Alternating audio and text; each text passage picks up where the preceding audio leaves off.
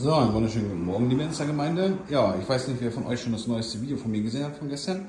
Ähm, da ging es ja in dem Video auch um die LED-Wand, dass sie nicht ging an der Veranstaltung. Ja, lag einfach ganz einfach daran.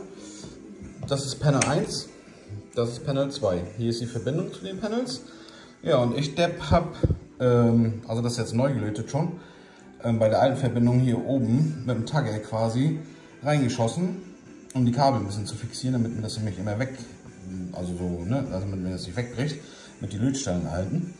Ja, und ich habe natürlich so doll reingetackert, dass ich mir das Massekabel und das Datenkabel zusammengelegt habe. Und dadurch haben die beiden Panels gesponnen. Ne? Die beiden anderen, die quasi über Universum ähm, 9 bis 16 laufen. Da funktioniert die Verbindung. Und da seht ihr so, habe ich das bei den anderen auch gehabt, werde ich hier rausnehmen, bevor mir hier die Kabel auch kaputt gehen. Ja, so einfach kann es manchmal sein, dass es dann quasi, äh, ja, ne, so bescheuert ist. So, damit schönen Dienstag. Sie funktioniert wieder. Kann die nächste Veranstaltung kommen.